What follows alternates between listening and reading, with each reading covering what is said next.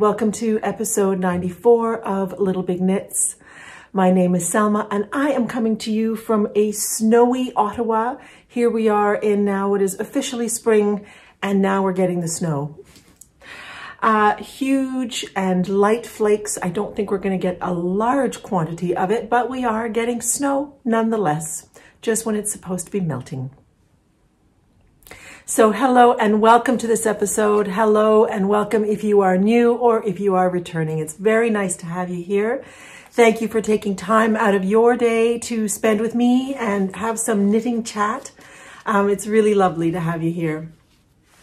And I also just wanted to give a special thank you also to those of you who either like or subscribe or notify, like push the little bell button or those of you that support uh, the podcast on Ko-fi. So thank you so much uh, for your comments, for your likes, for your support, whether it is financial or not. So thank you so much. It's so lovely to have you here. In June, it will have been seven years since I started the podcast. It's been a seven glorious years. I have enjoyed every single minute of this. And we're at episode 94. So let's see if by June we could get to episode 100. And then we'd have two, a double whammy, a birthday or a podiversary, as we say, and hitting 100 episodes. It's taken me a while to get there, hasn't it? Yep, it certainly has. Of course, on the show today, we've got works in progress and lovely finished objects and some acquisitions.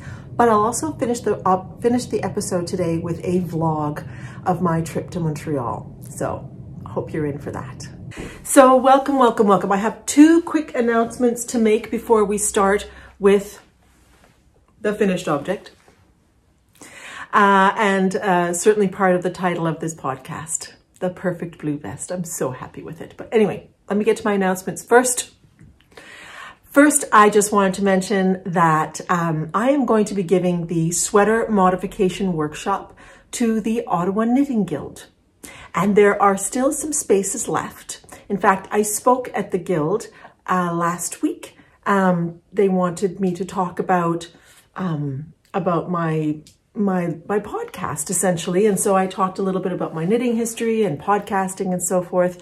And um, that was also uh, sort of leading up to the workshop that is coming in April. It's the weekend of April 13th and 14th, and there are still some spots available. So if you are, you know, in the area and would like to come that weekend, you can go to the link below to the Ottawa Knitting Guild, and it'll take you to the Ottawa Knitting Guild site.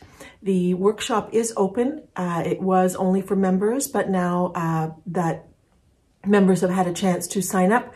They're opening it up to the public. So if you would like to come, if you're in the Ottawa area or not too far away and you'd like to come for that weekend um, and hang out, the sweater modification workshop is the same workshop that I gave in New Mexico last year. And it is essentially uh, about um, different things you can do to modify a sweater. We're talking primarily about top-down sweaters. So we talk about the different constructions of sweaters, as well as the different things you can do from necks to arms to chest to, to torso. Um, we do, we talk about sweater math, we talk about short rows. Um, it's a six hour workshop over two days. And uh, yeah, so if you're interested in joining me and having a conversation about this lovely topic that I happen to enjoy talking about a lot, please feel free to check out the link and sign up. The other thing I wanted to mention is that the Knitting New Mexico retreat is happening again this year. It starts on September 1st, which is Labor Day weekend, and it's three nights. It goes from the Sunday to the Wednesday. And I won't be giving the workshop this year. Bristol Ivy will be giving, um, I think she's actually giving more than one workshop in that weekend or those three days. It's not actually a weekend, it starts on the Sunday. And Knitting New Mexico website uh, should be up this weekend. And so the registration will first be open to returning participants. Um, but you can go and look at the information and um, decide if you'd like to join us in September. I will be going as a co-host with my friend Lauren, and I'm really excited about being back in New Mexico and being back at the retreat It was such a beautiful, beautiful time that we had together.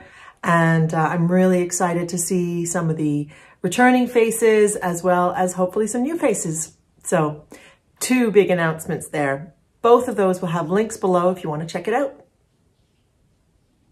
All right, let's start talking about what I'm wearing.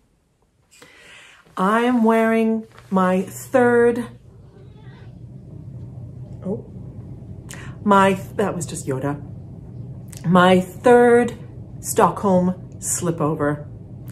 You may recall that I first made a white one and then I made a pink one. And then I had the idea that I wanted a certain blue. I just wanted a perfect bright light blue and I got it. I got it. I'm so, so excited about this. Um, loved knitting with it, uh, loved knitting it, making it, I should say, and just, it's just great. So let's talk about the pattern first, and then I'll talk about the yarns. This is a pattern by Petite Knit, the Stockholm Slipover. It is a very basic vest, and I dare say that it is a really excellent pattern. I have had success with all three of my patterns, uh, all three of my versions. Now I have a tendency to modify things a little bit here and there, generally when, I, when I'm looking at a pattern. so I'm gonna tell you a little bit about the modifications that I made. But that's not to say that there's anything wrong with the pattern. It's actually a very well written pattern. It's got some nice little details and it creates a nice fitting vest. And um, yeah, I just really like it. I am thinking about possibly lengthening it a tiny bit. I haven't quite decided yet, but yeah, it's just lovely. And I'll tell you what I really like about this vest is that I generally choose the size based on the width that it's going to be up here because I want it to fit kind of like an actual vest that you might wear with a jacket, you know, um, and a shirt. I don't want it to be going awkwardly over the shoulders. I just want it to sit really nicely and I find that um, it works really well. When I started knitting this and I was, you start with the back and you knit the back panel, I sort of measured it against my pink and my white versions and I realized that it was a little wide. So I actually went down a size. Um, and I just, I really wanted it to fit, you know, nicely along the back uh, and, and, and around the front so that it would just look nice with a shirt. This, as Leanne of the Nitty Stew called, my, this is my uniform. I just love a white shirt with a vest. Um, it's just one of my favorite looks, whether it's with pants, with jeans, with, with a skirt. I just could wear this all the time. It just makes me happy somehow. So this may not be the last Stockholm slipover in my life, um, but I, you know, I wear all of my vests. I love them all. And, and um, yeah, they're really just really fabulous. So I love the fact that it has width here. Um, she tells you how many uh, rows to knit here. So you, she knits, talks about rows, so you should really check your row gauge because what I, what I want from a vest like this, that I don't want it to go too low.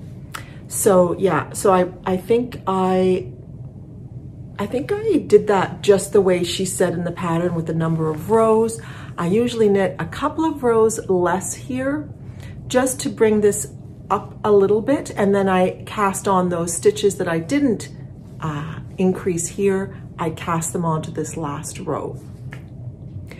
Her pattern actually has a little bit of A-line shaping and I had not done that with the first two. So I did do it with, with this one. It's, it's very, very subtle. There's just a tiny little bit of it.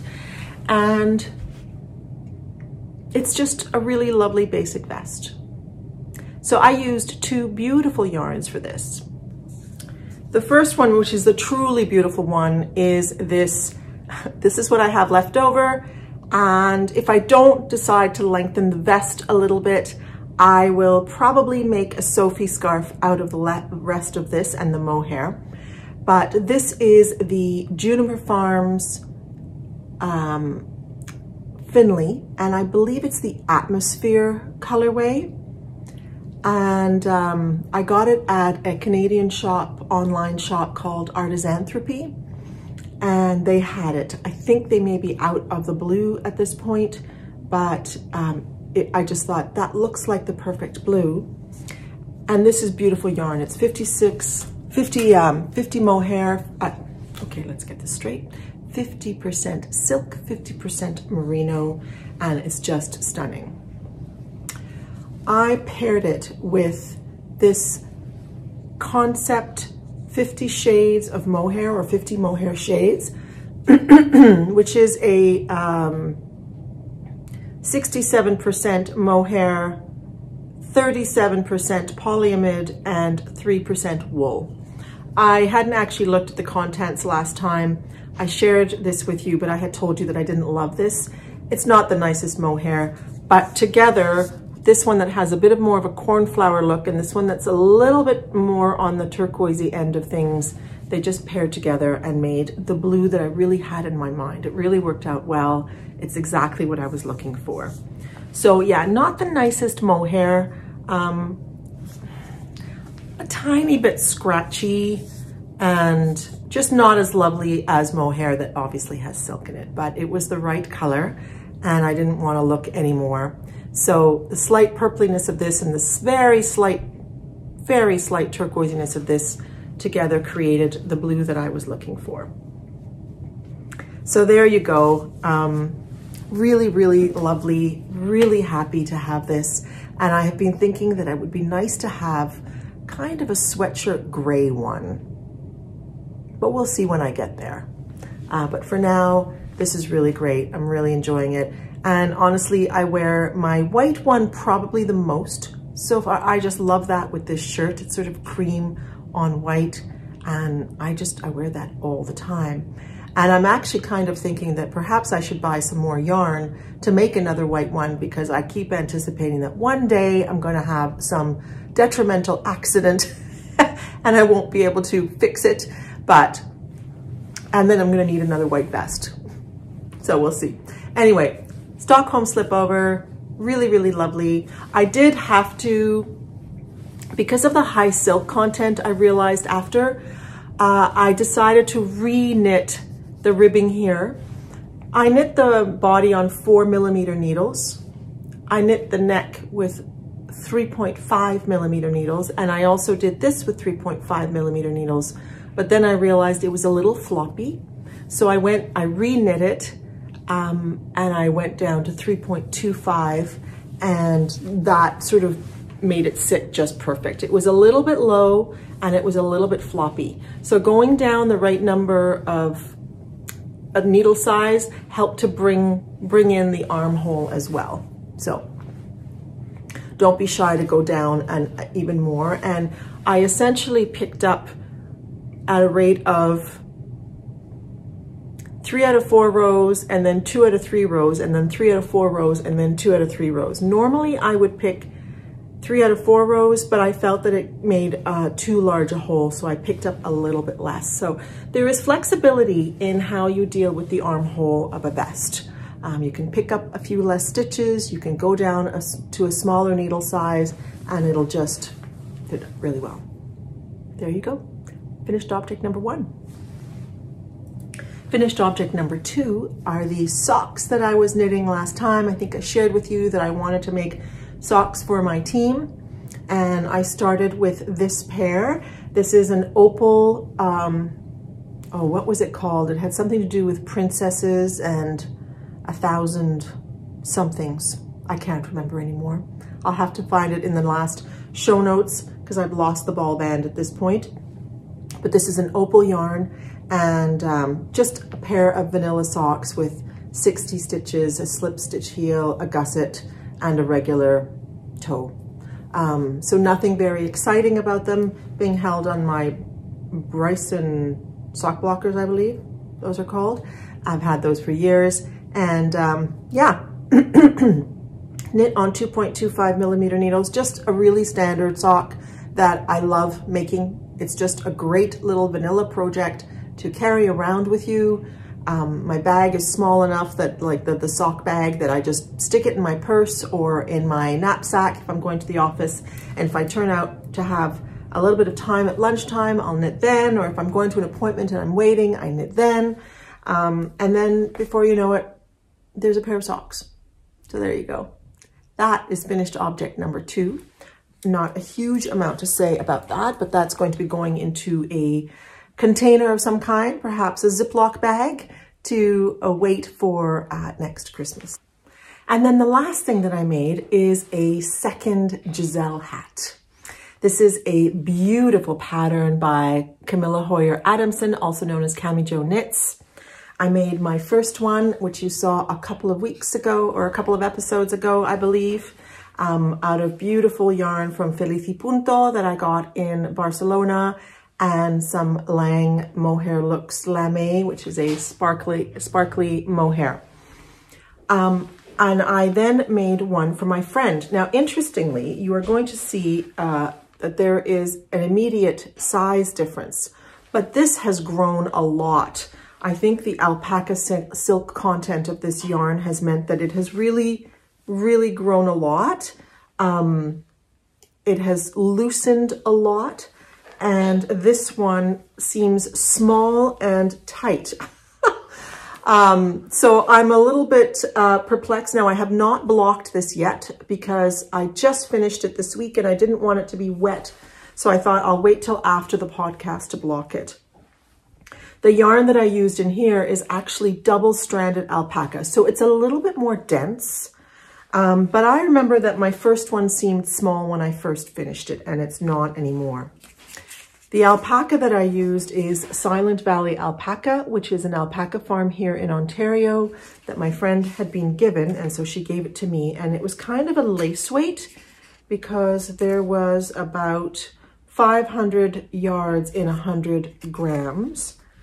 Isn't that hilarious? Grams and yards all together. 100 grams is 457 meters. Um, and I double stranded it uh, with the same size needles as this. So I think it might be slightly more than a DK, but I'm going to wet this and block it later. I didn't think if I wet it and block it that it would be dry because this is a little bit more dense. And I did make this this exactly the same, pretty much exactly the same length as this one. So I think that it will also stretch. So I'm going to block this and then I think that it will probably uh, loosen up and with wear it will as well. So this brown mohair is the rest of the Rowan Kid Silk tweed that I had used for my friend's wisp scarf a uh, couple of episodes, two or three episodes as well. So she's now going to get a hat with the same yarn on the outside. So yeah, it just seems to be a lot smaller, but I'm also aware that this one felt a lot smaller as well. These are just, I don't really consider my colors, but they're definitely her colors. And it's just a really enjoyable hat to make. I could see more in my future. And I actually don't, even though this has a double layer, I don't find it extremely warm because this is very airy and uh, the alpaca silk is also like not really dense. I think that this will probably be a warmer hat because of the double stranded alpaca, but it'll probably depend a little bit on how much it stretches out. But yeah, I, yeah, I, I, I see one with pink and purple in my, in my future, but we'll see what happens. But yeah, really enjoyable knit. I enjoyed making this. This side just kind of knits itself, to be honest. Um, this takes a wee bit longer, but I really enjoy this lace. I, it's so intuitive. It's, it's lace that appears on, on the Giselle shawl as well, which I had made in the past. And actually thought I could make, uh, probably make a hat in the Giselle colors uh, that I had used. But um, we'll see. but yeah, second Giselle hat. Um, it's just so pretty, so, so pretty. So a great hat for the winter and yeah. So those are my finished objects for today.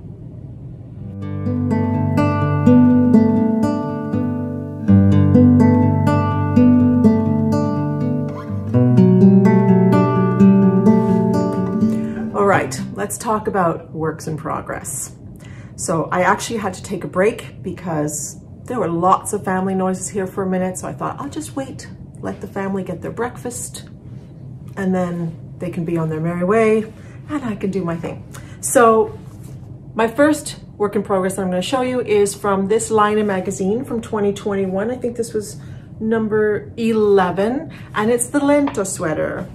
So the Lento sweater is a very, very popular pattern that first featured in this magazine.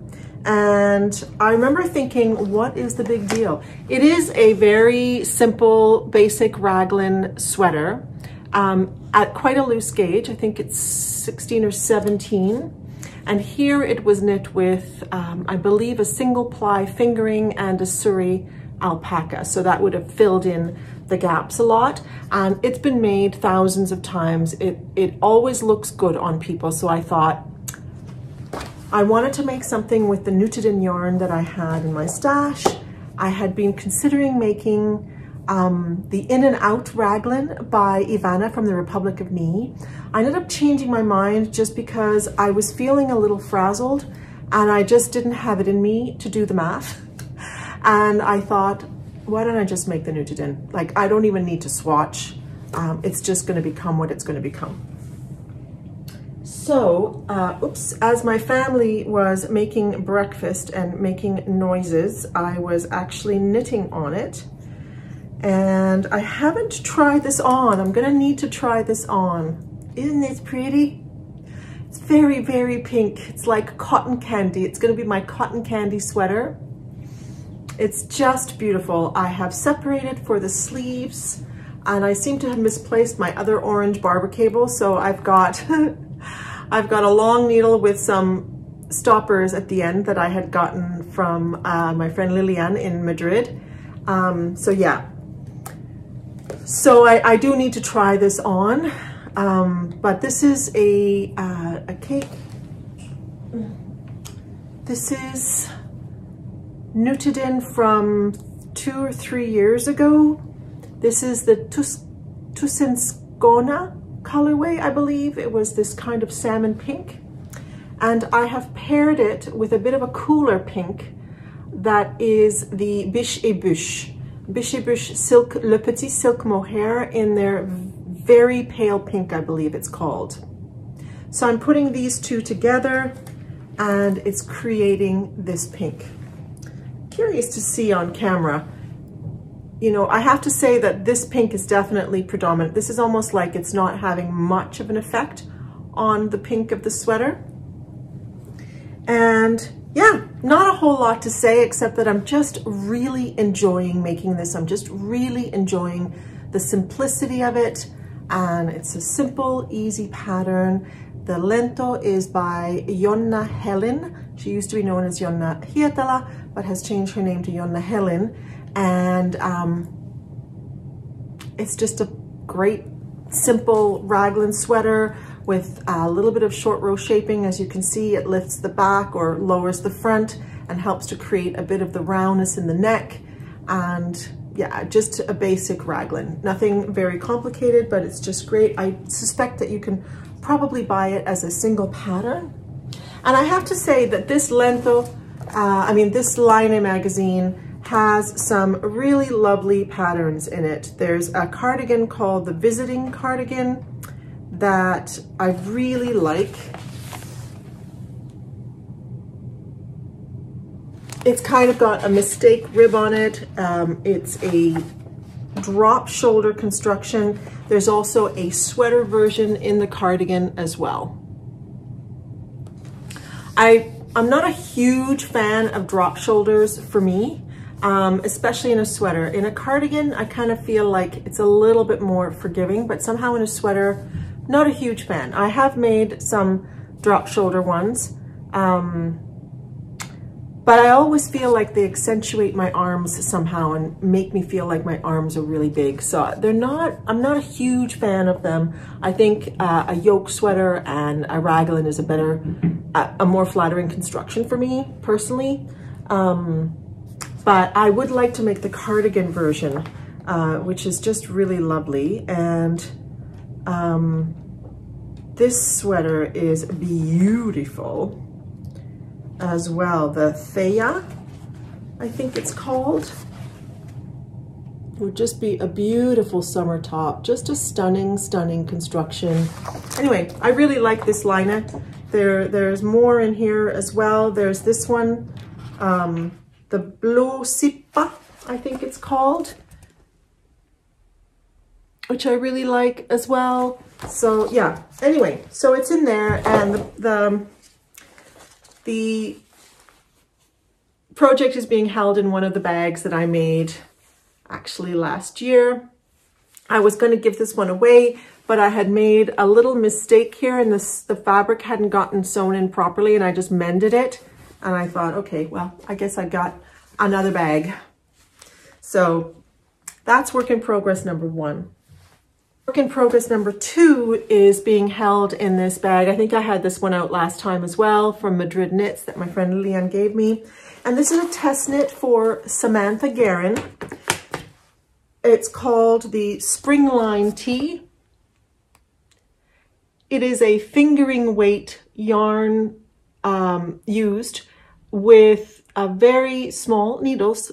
Well, it's actually in the pattern, I think it's supposed to be 3.5 or 3.25, but I'm having to use three millimeter needles to get gauge with the yarn that I'm using. And it's just a lovely top-down construction with a little lace detail.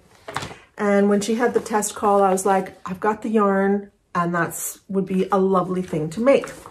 And the yarn that I'm using is this Dove Blue from Knitting for Olive in their Pure Silk base. And this is uh, a Bourette silk. So it's got, it's which is basically using the leftovers uh, from when the silkworms become butterflies um, they're using the leftover of the casings that have kind of left been, being left behind. And so it's not that super silky worm type silk. It's a, and it's considered a more ethical silk. Um, and it's quite lovely. I'm not absolutely loving knitting with it. I'm going to be honest. However, I don't think I chose the best needles because they're a little bit blunt on the tips and I think this would have needed sharper needles. But I don't like changing needles mid-project because I do find that even if it's two metal needles, I may knit slightly differently with them. So I'm just going with it. And I've gotten used to working. Um, it was it was most problematic in the lace section and I've gotten used to it, so it's not a big deal. I need to take a sip of tea, but I also wanted to say that Mr. Stanley Hops since it is bunny time, wanted to come and say hi. This is from the same potter as my Gertie mug, my chicken mug, uh, Brown Bunny Pottery, um, if you're interested. So, I haven't gotten as far on this, but I it's got a nice uh, testing timeline. It goes until, I believe, the end of April. Um, and I am just starting the left front. I did the back until the arm hole and I just started the left front. I'm going to finish that part, do the right front, and then they join. Um, so yeah, I'm, I'm really enjoying making this. Bizarrely, this lace, which is very simple looking, has a slight complexity to it. And it took me most of the back part to finally get into the rhythm of it. It was not as easy to learn as the lace on here, for example. This diamond lace, super easy, super intuitive. This one took a little bit of time to get used to, but now I've got it, no problem. I'm just going along. I don't have to look at anything. Yeah, so it's a beautiful blue. I'm clearly in my blue phase at the moment, and I think it's just going to make a lovely, lovely summer top. I may made that I may wear this at um, Knit City Toronto if we're having a warm weekend. Then you just never know what the weather's going to be like in May. And yeah, it's it's a lovely design, and I'm really looking forward to having this top. I'm enjoying making it. Um, I'm, I'm enjoying the fabric that the Pure Silk is making, and I thought, hmm, this would be really, really, really lovely um, to make other things with. A lot of people knit this double, and I'd be curious to see how that feels as a fabric. I'm definitely going to have quite a bit of the blue left because I think I have seven balls and I can't imagine needing more than four for this top. So I may have enough to make something else, either a striped top or um, mixed with another yarn to make a top of some kind. I don't know, but I'll definitely have um, this left over. This has been in my stash for a couple of years as well. So yeah, not a whole lot else to say, but I think it's going to be a lovely top. It's a well-written pattern. Um, and, you know, there have been a couple of little things that testers have picked up, testers have picked up on, but overall it's great. And the test group is lovely. And um, yeah, Samantha makes lovely patterns. I knit her Salty Air tee last year. She has now come out with a Salty Air sweater. I think I showed you a couple of episodes ago uh, Dark Omen yarns that I'd gotten in Barcelona. And I think that that yarn is going to go towards the Salty Air sweater because it's got the exact same gauge that I'm getting with that yarn. So I think it's going to be a perfect match and it'll be a beautiful, beautiful yarn to use with that sweater. And um, yeah, and it's so funny because after making the Salty Air tee, I had thought, this would be really nice as a little sweater in the, for the winter. And now she's come out with a DK version, sort of a DK light worsted version. Um, I could see myself making a fingering weight sweater out of um, the Salty Air tee pattern as well and just adding sleeves onto it. So anyway, that's that. Next, next work in progress uh, is probably going to get ripped out. Um, I'm continuing on the theme of socks for my team. And I got this um, Patons Kroy yarn in this colorway, which is 57 2010. I'm not 100% sure what the colorway is. I don't know how they do their colors here. Which is knitting up beautifully. Isn't that gorgeous? However, I'm knitting this on 2.25 millimeter needles. My friend Sue of the Distant Stitches had the exact same problem recently. I'm finding this, it's making a little bit of an intense fabric.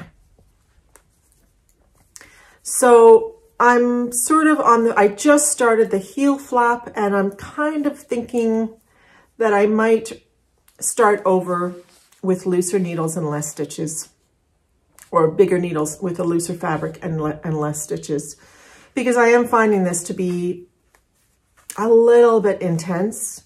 So I'm undecided. I might start, because I got a second ball, I might start a sock on larger needles, see how I like that, and then decide uh, once I've gone down the leg a little bit about what to do with it, because it is, it is rather dense. This is more, uh, this is a thick,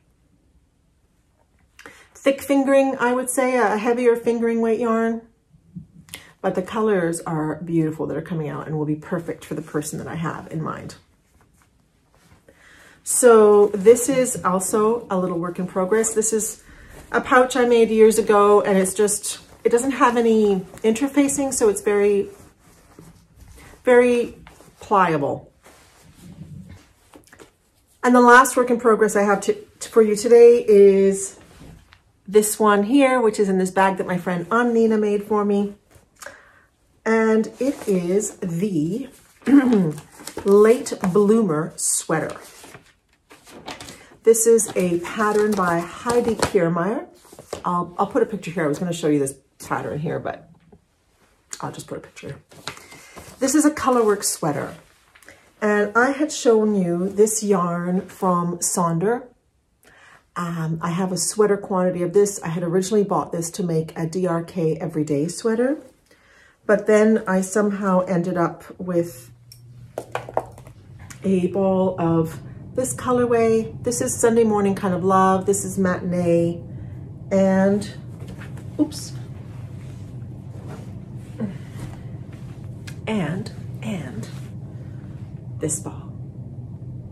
So in deciding on a colorwork sweater for these, I ended up deciding that I thought with the black, it would be nice to have something quite graphic. And I decided on the Late Bloomer by Heidi Kirrmaier. I've only just started it, so I don't have a whole lot to show you, but here it is. I was wondering if the purple is just too low of a contrast, but I think I'm going to like it in the end. I went on Ravelry as I was having a moment of indecision. I went on Ravelry and I saw these two versions. So I saw this version here where the person has used kind of a pink yarn with all black flowers and the little uh, detail between the flowers. But then I saw this version, which is kind of like mine, where the little details are in a lighter color and the flowers are in a darker color. And I thought, you know what, I actually like that more. So even though I was having some second thoughts about this, I thought I am just gonna continue because I think that in the end, I think it'll be an interesting combination. And hopefully one that will look good on me. Um, it's a little different uh, in terms of coloring that I'm used to. Uh, I don't wear a lot of black. It's not a color that I gravitate towards. I don't think black is a great color for me. Um, but this kind of a sort of, it's got a bit of a charcoaliness to it, I think is, is better for me. And so, yeah, so I'm gonna continue with this. I do uh, have to prioritize the test knit and I can't seem to put the lento down. So I think I'll finish the lento, but I'm definitely enjoying the color work, definitely enjoying working with this yarn. This is beautiful, beautiful yarn from Sonder uh, Yarn Company. Um, this is the Sunday Morning DK, and it, I believe this is on the original base, not the ecru base. Um, in fact, I think I bought this, there was no ecru base at the time. Um, and yeah, a very different kind of color combination for me, but I'm really, really enjoying it and just really enjoying working with the yarn. I'm using 4.5 millimeter needles, so that is a seven, I believe. And um, yeah, I'm not very good with all these metric and I just mix it all up. Metric and imperial. Um, So those are my works in progress for today. I received uh, some lovely gifts this last month, so I'm going to share some of those with you and a couple of my purchases as well. So one gift I received is quite something in a way because I was chatting with my friend Kate, who's in Ireland, who has the Hawthorne Cottage Craft podcast. And I was telling her that I have some of my father's tweed jackets my father passed away in 2018, but he had some Harris tweed jackets and I kept them thinking that I would cut them up and turn them into something. Like I'd love to make a bag.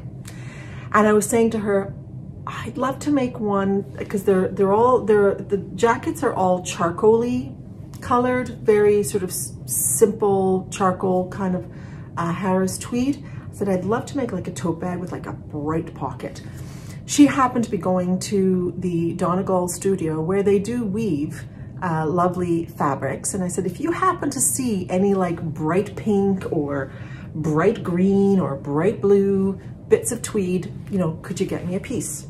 So she said there was one piece of fabric in a bright color. And so she picked it up. Perfect size for a pocket, nothing more. And uh, so she sent this to me in a lovely package. I'm very excited. Uh, so I really do need to take my father's jackets out and start um, taking them apart and turning them into something that I can use. I also, so thank you so much for that, Kate. And at the same time, I received this lovely gift from Megha of a Skeins of Dreams podcast. Megha was in India and and brought back some beautiful organic cotton fabric. Not just some, like a whole whack of it. I think there's three or 3.5 meters of fabric in here in this beautiful block print. So this is definitely not something that I'm going to make uh, something out of immediately because I have no idea what I should make with this. I do think it would make a lovely, lovely dress uh, of some kind. So we'll have to see um, what this becomes. I want to wash it first because I'm sure it's going to need it.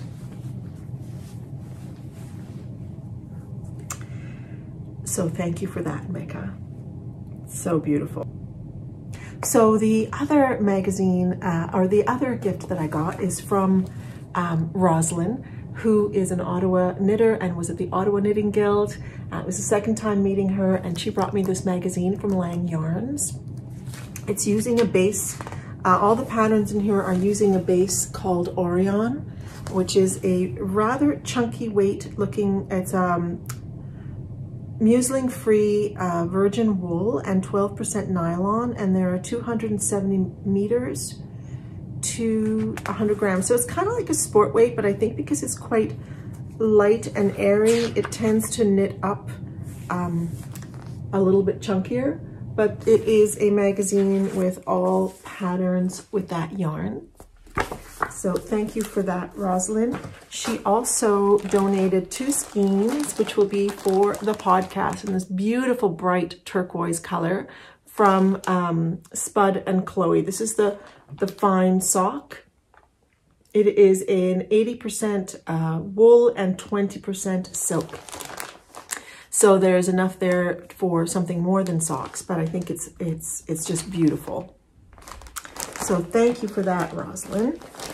I also got myself this magazine by Sandnes Garn. I had been wanting to get this and didn't think that I would be able to find it.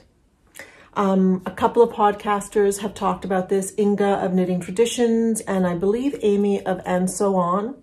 I mean, sorry, Lisa of And So On. Um, why was I thinking Amy? Was I thinking Amy Palko? I don't think Amy Palko has this, but um, I believe those are the two that I've, have mentioned it, perhaps somebody else. And, oh, it's because there's an Amy slipover. That's where I'm getting things mixed up. That uh, Inga has made a couple of times. Um, that's this beautiful slipover. And I just thought this could be a really interesting experiment.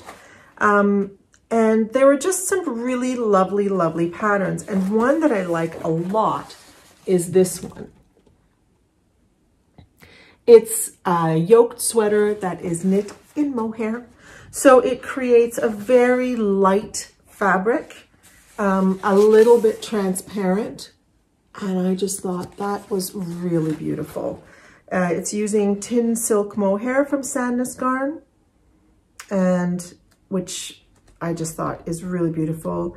It's got a couple of dresses. It's got this sort of simple raglan sweater in it that is striped. Um, here is one of the dresses. So yeah, just it's it's got some simple knits. I really, really like this raglan sweater. Which is made out of their uh, Børstet alpaca. So I ended up finding that at a local shop called Wool Time. I was in there, I was like, oh, look at that. Um, so I got that. I couldn't help myself. And then at the end of the podcast, you're going to see a little bit of a vlog from my trip to Montreal. And the only thing I bought in Montreal uh, at the Boutique Les Garçons, which you're going to see and hear more about at the end, is this Alpaca One by Isager. This is a lace weight alpaca in this kind of heathered brown colorway. And actually Max added um, a Progress Keeper by Les Garçons and I knew that I wanted to get this to go with some oatmeal Holst garn that I have. This is a tiny bit darker. I realized when I came home, but I'm going to swatch and see what it looks like. I also have some Plotulopian oatmeal that I could also double strand it with. But I was originally thinking of double stranding this with the Holst to make the Ilya sweater by Orlan Suk. Um, I haven't tried to swatch yet, but um, that is a sweater that I'd very much like to make this year. Um, and I'd very much like to use my dark omen yarns that I mentioned earlier with the salty air tee. So we'll see if those, if, uh, you know, if the spirit moves me to knit those this year, but that's, that's uh, certainly one thing that I've been thinking about. And um, this just feels like beautiful alpaca lace weight. I think it would make a lovely fabric. I had thought about making the Ilia only in Holst garn, but I wondered if it would be just a little bit too transparent. So I'm going to swatch with this and we'll see what I conclude. But this is such a beautiful yarn. It could be used for something else as well if I changed my mind. But that's my intention with this. And I had such a joy going to Montreal and uh, you'll see the vlog at the end. Um, I didn't record my entire day, but I shared it up to the yarn stores with you. And then I wanted to just mention some patterns that came into my life in this last month, actually, because I didn't podcast last weekend. I went to Montreal and then we went to a sugar bush on the Sunday. I just had a busy weekend, so I wasn't able to podcast. So I waited till this week. I've got three patterns that I wanted to share with you today. One is the Riptide Slipover uh, by JST Design and Designs. And this was a lovely gift, uh, which from Cindy, who is a viewer of the podcast. So thank you so much, Cindy. Um, this is a lovely slipover knit in DK yarn. Um, and it comes in 10 sizes. So very inclusive that way. And um, it has some lovely versions on, on Ravelry. So I'm contemplating what yarns to use with this one. I also got the Coastland Cowl by Annina Juuti which is also here. Um, and honestly, it's such a lovely cowl. Now, I've mentioned before, I'm not a big cowl person. But when I saw Leanne's version, Leanne from the Knitty Stew podcast, I was like, that just looks like a great little fashion piece. In addition to serving a purpose of being warm. So I have a skein left from, actually a skein and a little bit left from my granite cardigan in that blue-gray yarn that I had used for that. Um, and so I, I'm thinking about using that to make a coastland cowl. This comes, it's knit in Aran weight, so I think that's the right weight of yarn because it is a good, a good solid worsted weight yarn. And it, it actually comes in two sizes. So I'm gonna have to figure out which one to make. I might just copy Leanne. And then the last gift uh, that I received this month that I wanted to share are these honey and nectar socks uh, designed by my Yarny Corner. And it's a pair of socks that comes in three sizes and it's got this lovely detail around around the foot, I mean, around the, the leg of the sock. And this was a gift from Sue. So thank you very much, Sue. Um, yeah, so three patterns that I just wanted to share with you.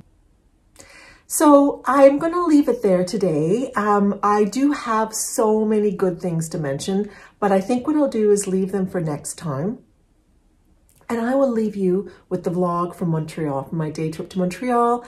And I visited two new shops on that day, two really lovely, very different shops, which was really great. Um, one is Les Garçons, uh, the boutique Les Garçons, which is by um, the dyers behind Les Garçons Yarns, Max and Vincent, they opened up a shop in the building where they dye their yarn.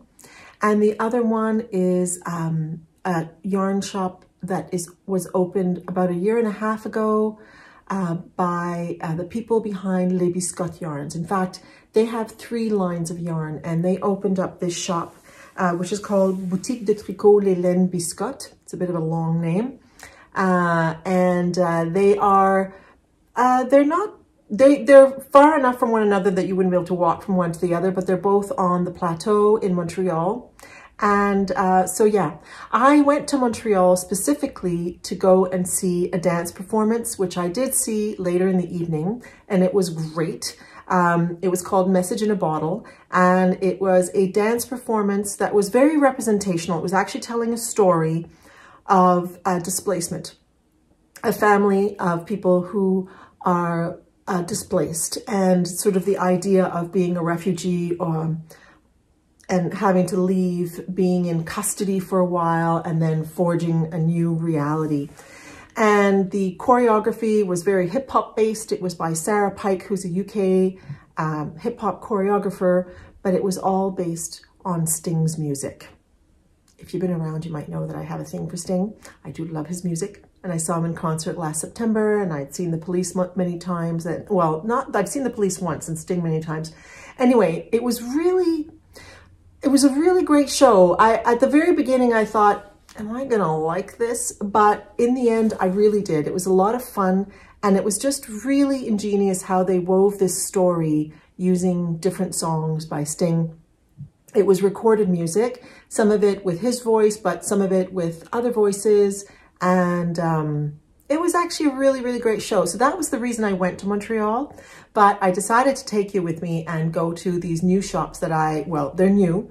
Um, although Biscotte, the Biscotte shop had been open for a year and a half, I, I hadn't been there. So it was really great to visit these two shops. And uh, so I'm going to leave you with that. And I'll leave all the good things that I wanted to talk about, um, movies and some, you know, other performances that I saw, music and so forth. I'll leave that for next time. So I hope you enjoy the vlog if you stick around. It's been lovely spending some time with you. Remember that the show notes are down below, and if you're interested in uh, checking out the New Mexico retreat or the workshop that I'm going to give with the Ottawa Knitting Guild, you'll find the links below, as well as all the other stuff. See you next time. Take care. Hello there.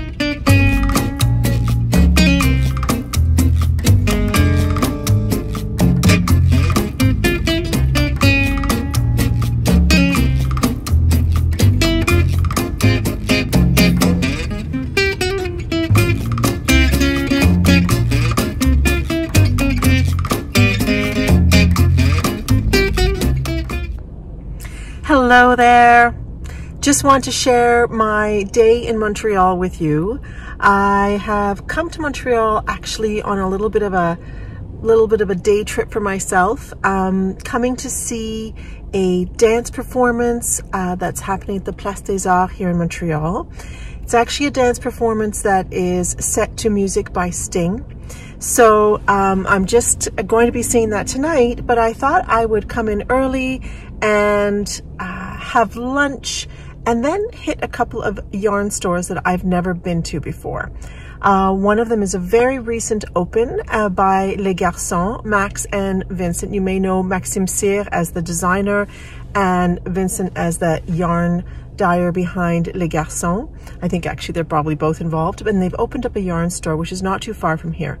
So I'm going to have lunch and then I'll probably head over there. And then I wanted to head over also to the Biscotte yarn shop, which is a yarn shop that I've never been to. And I think it's been open for a couple of years. I think I could be wrong about that. I'll have to tell you more about that later. So I thought I'd take you along with me on this little journey.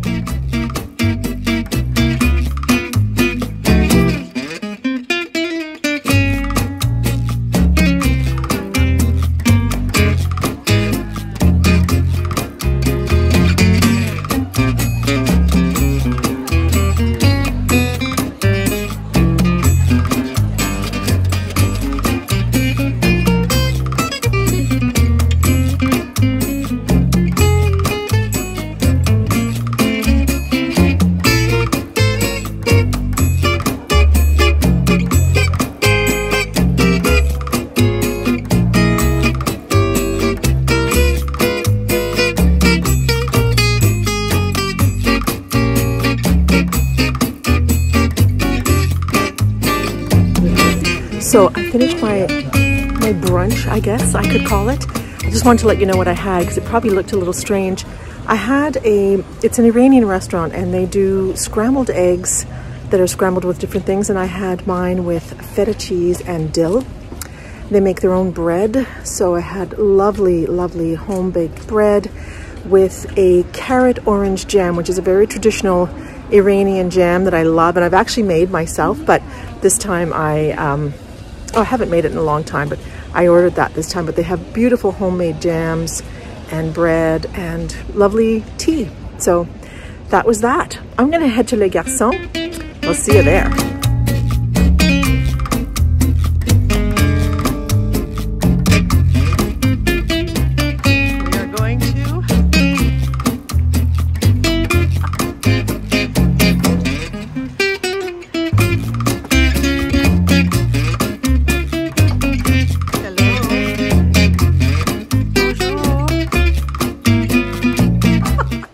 So I am here with Max. Hi. Hello, Max.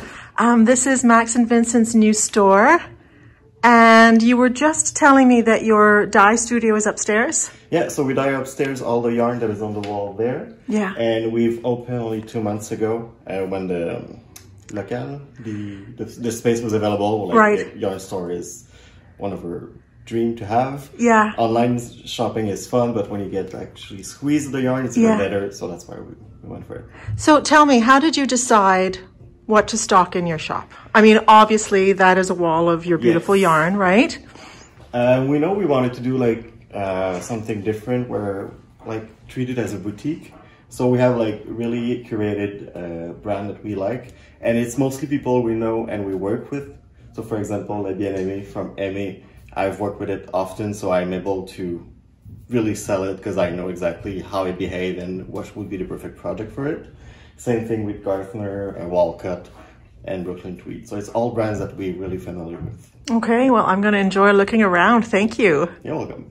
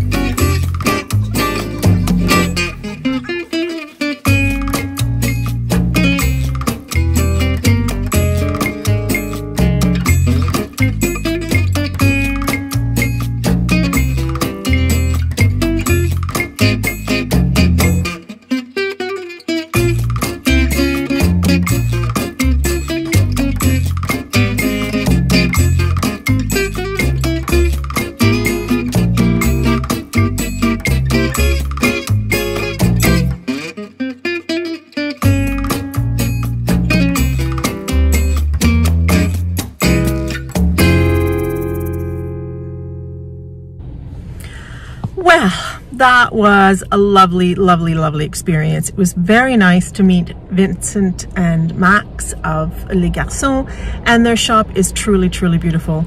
It's only been open for two months. They've stocked it beautifully, obviously a lot with their own yarns, but they also have, as Max shared, yarns by other companies who they've worked with and whose yarns they really like. Um, they had Isager yarns, they had La Bien-Aimée, um, they had Garthenor, Toft, just a beautiful selection. So if you're ever in Montreal, I think you should check it out. It's on Marie-Anne. It's in a great area of the city. Lots going on there um, on the plateau, as it's called. So just really beautiful. It was really lovely. So let's go off to the next shop, uh, which is um, Les Laines Biscotte, and uh, check that out.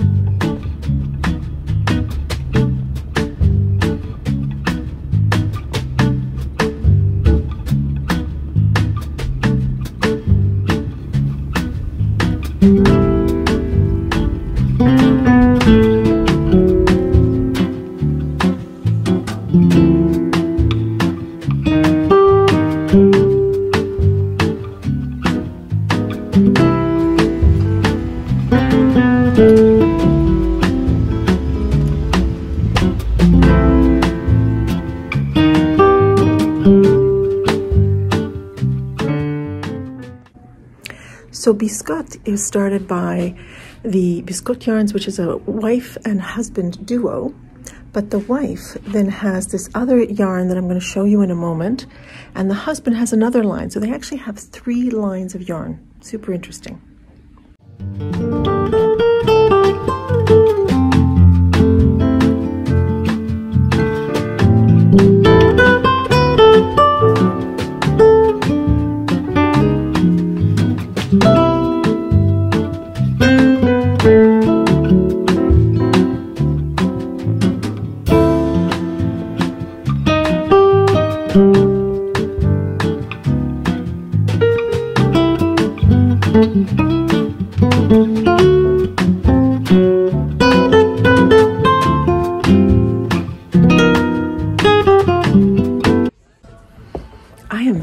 Intrigued by this one here.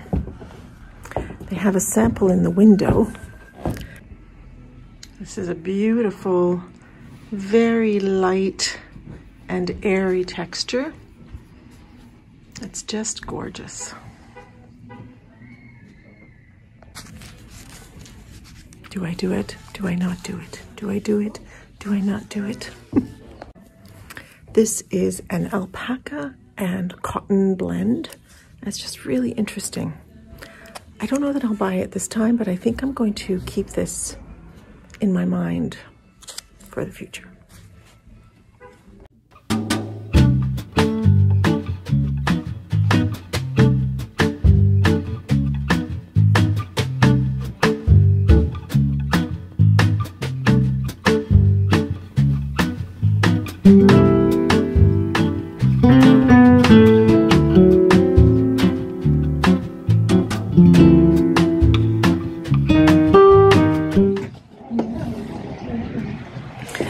That was very, very interesting, I have to say. Very different kind of shop than Les Garçons.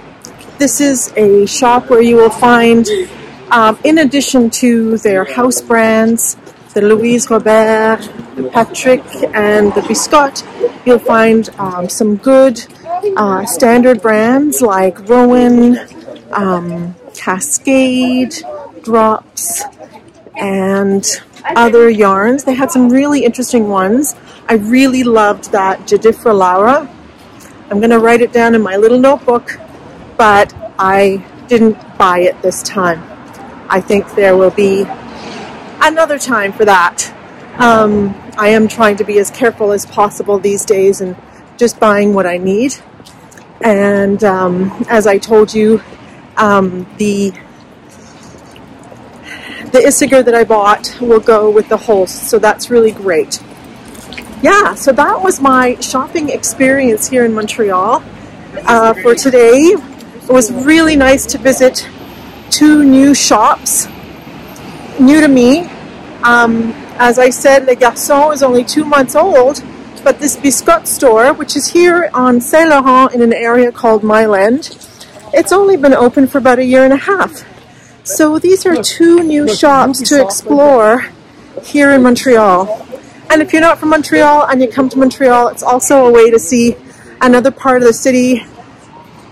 Montreal is such a great urban city with so much going on in every part of the city. So definitely two shops to visit.